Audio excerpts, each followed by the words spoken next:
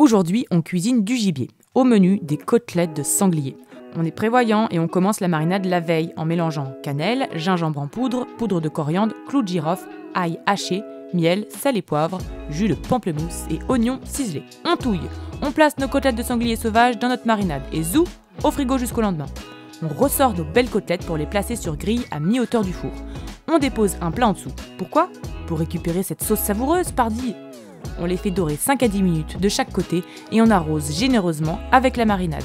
Quand les côtelettes sont cuites, on les retire du four. Ça va être incroyable avec une purée de patates douces. Psst, ouh, on n'oublie pas de récupérer la sauce des côtelettes.